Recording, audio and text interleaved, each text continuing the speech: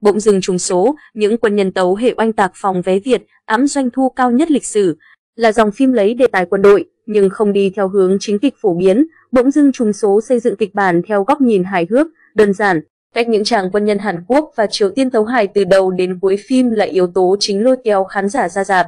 Công chiếu tại Việt Nam từ ngày 23 tháng 9, bỗng dưng trùng số đã chạm mốc doanh thu 27 tỷ đồng, trở thành phim điện ảnh Hàn có doanh thu mở màn cao nhất lịch sử phòng vé Việt. Thành tích này trước đó thuộc về bộ phim bán đảo Peninsula, công chiếu năm 2020.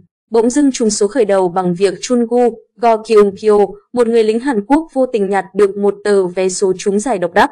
Nhưng vì bất cẩn mà anh để tờ vé số bay từ Hàn qua Triều Tiên rơi vào tay Yeong Ho, Lee Yi Kyung, một người lính Triều Tiên. Chun Gu muốn lấy lại nhưng Yeong Ho không đồng ý. Yeong Ho cũng không thể qua Hàn để lính thưởng.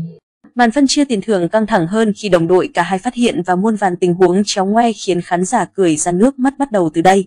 Bỗng dưng trùng số không chứa nhiều cảnh hành động mãn nhãn như dòng phim quân đội phổ biến, cũng không có plot twist giật gân.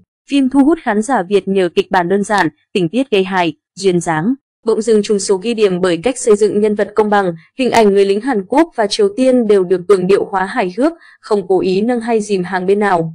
Từ đó, phim truyền tải thông điệp về sự hòa hợp và tình hữu nghị giữa hai quốc gia. Bỗng dưng trùng số vẫn đang được công chiếu tại các cụm rạp trên toàn quốc. Với những phản hồi tích cực đang nhận được từ khán giả Việt, phim hứa hẹn sẽ còn công phá con số doanh thu đáng nể hơn nữa.